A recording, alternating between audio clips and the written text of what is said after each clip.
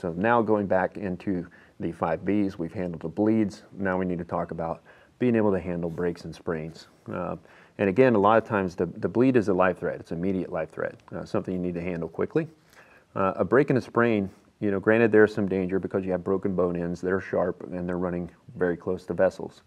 If you don't immobilize that and stabilize that, then what can happen is a compound fracture where you actually puncture through the skin. Now you have an open wound uh, as well as a break and you have to handle the bleed before you handle the actual fracture itself.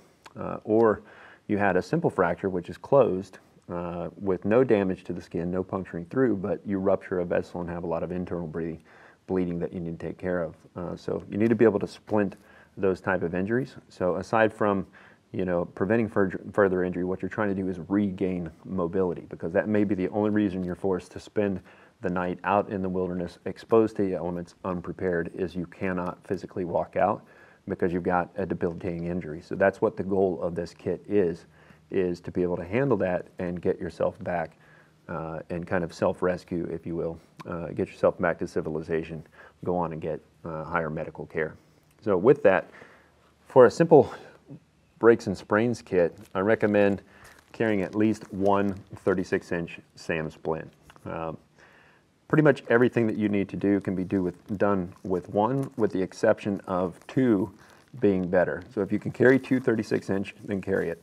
They pack extremely small, they're very flat, and they fit everything well. You can just slide this down pretty much any kit you have. Uh, and a lot of things can be improvised, but this is one of the things that are is going to save you a lot of time. And they're very effective splints to use in the field. So personally, I carry two 36 inch one 18 inch and one 9 inch. A lot of these smaller ones are good for upper extremity injuries like to the hand and to the wrist, but they're also great for kids, which I have four of. So I carry smaller ones uh, as well, uh, as well as I also have students that are different sizes. So but at a minimum, one of these.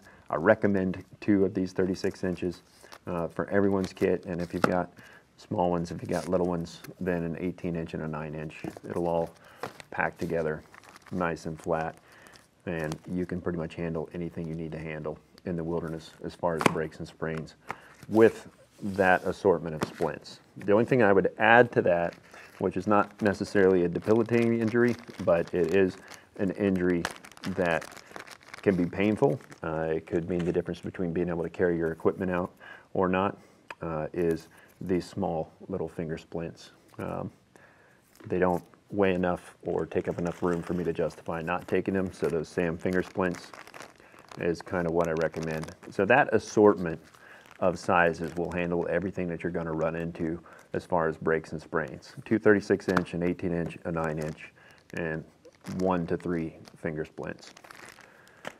Uh, so that's kind of what you're using for splinting material. A kind of a multifunctional item that you can also use for those smaller splints are these tongue depressors.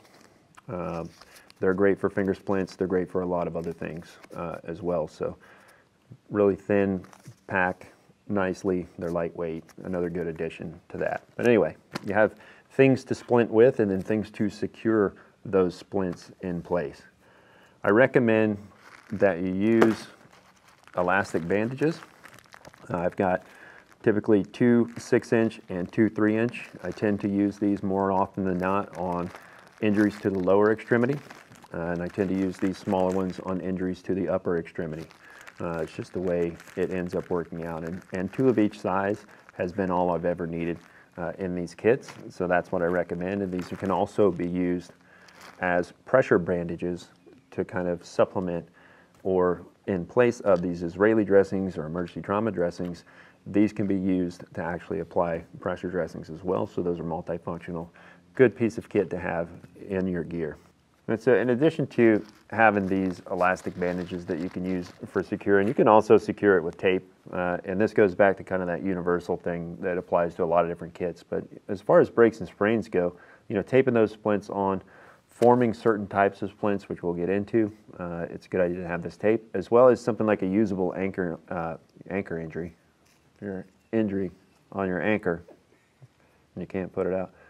For a usable ankle injury, you could do something as simple as taping this uh, or taping that ankle and still make your way out uh, successfully. So um, tape is definitely a great thing to have, uh, kind of as part of your breaks and sprains kit.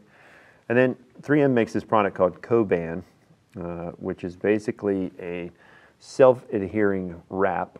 Uh, both, this is called Coflex, so it must be a different brand. They're all trademarked. But this is basically a self-adhering wrap that also has some elasticity in it. So this works well, especially if you buddy tab it beforehand.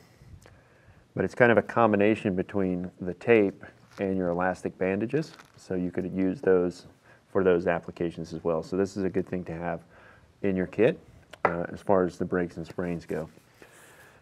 Once you have your splinting material and something to secure that with, another great thing to secure splinting material with, and as well as used for bandaging in your bleeding kit, as well as a lot of other applications for survival and emergency situations, are cotton cravats, uh, also known in the civilian market as triangular bandages. Uh, but this is just a triangular piece of cotton. Uh, I like the military cravats. These particular ones are from North American Rescue. Rescue North American Rescue. Uh, it's just a triangular bandage, and you use those for sling and swath techniques as well as securing splints. And of course, cotton has a lot of other applications. Uh, but five of those will do any technique that I'm going to show you in this video series. Uh, so they're very compact and lightweight. These have all been folded out, but they typically come in a package and they're about this size.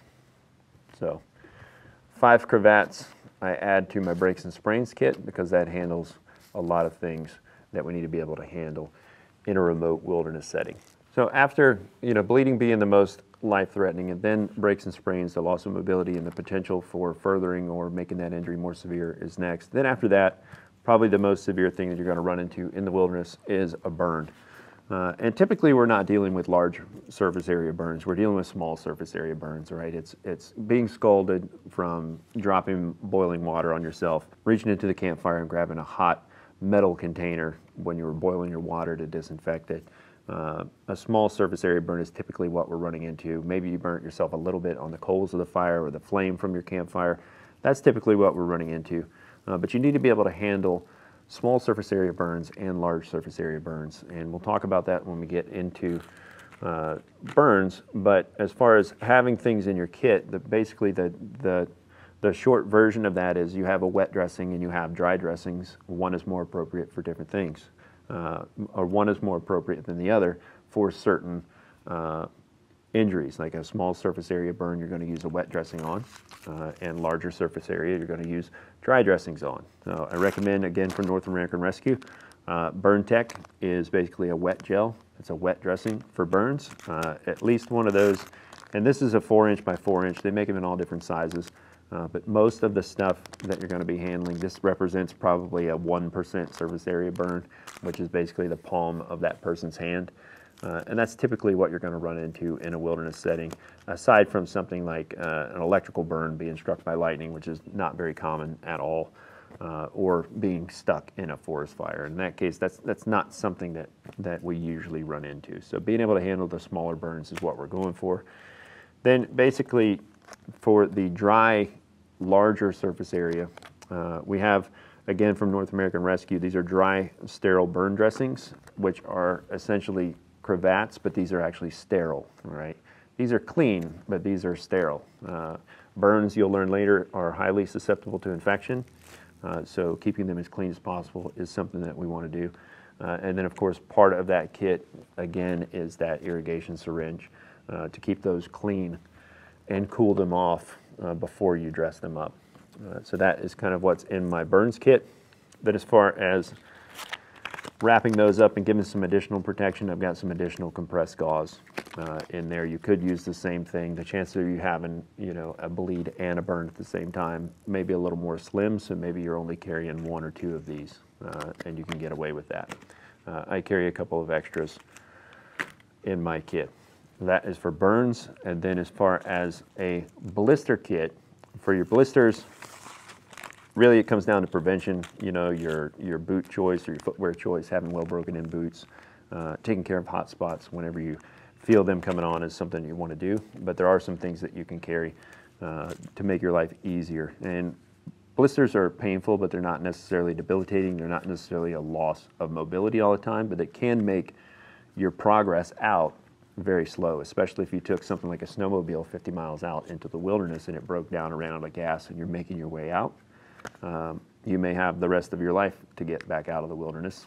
Um, so anything that slows you down and becomes a nuisance is something you need to worry about. And the longer that blister is open, um, the more susceptible it is to infection. So being able to handle that is something that you want to do. So what I carry for that is just some moleskin. Then I've got moleskin plus some padding, and then kind of mole foam with padding. And these are basically three different thicknesses of the same thing with the goal of covering that blister and produce and reducing friction and things that are making it worse. Uh, a couple of little vials of tincture of benzoin, uh, which these come with steri strips. So that's another thing we can talk about when we get into wound closures. But this just is a kind of a, an antiseptic and it's also a super adhesive uh, that makes this stick a lot better for your blisters. So that's what I carry in my blister kit.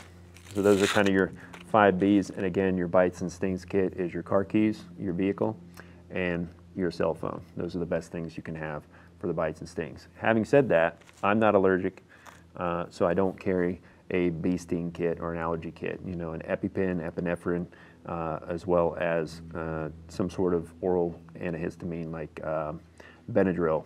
If you are allergic, then I recommend that you get with your doctor. Your doctor will prescribe whatever you need for that. If you're susceptible to bee stings, that's something you need to carry in your kit when you're out in the wilderness exposed to that potential allergen. So revisiting that March protocol with the H in March being hypothermia prevention. Uh, granted, it's, it's often a function of your shelter system and your fire kit um, in the normal gear that you're carrying. Uh, but for me, I live in the Adirondack Mountains. Uh, we have winter basically, you know, winter seems to be a little bit longer up where I'm at and it's a lot colder. Uh, and having students having a way to prevent hypothermia in addition to their kit, you know, is, is always a good idea. So I'm going to show you kind of what you need to have in that. And along with hypothermia prevention, going back to massive hemorrhage, you know, the bleed itself is your primary concern. Following that bleed, the lack of volume, hypovolemia, leading to hypovolemic shock is what's going to kill you after the bleed. So you need to be able to handle that. And part of handling shock, one of the main priorities of that is to help maintain that core body temperature. So that's where this comes into play. So what I carry is a heat reflective shell from North American Rescue. Uh, this is basically a space blanket that's kind of in a mummy sleeping bag style with a hood on it. Uh, that at a minimum, so I can wrap the patient up in that, wrap the person up in that, or wrap myself up in that if I'm suspecting that I'm going into shock is something that I recommend you carry.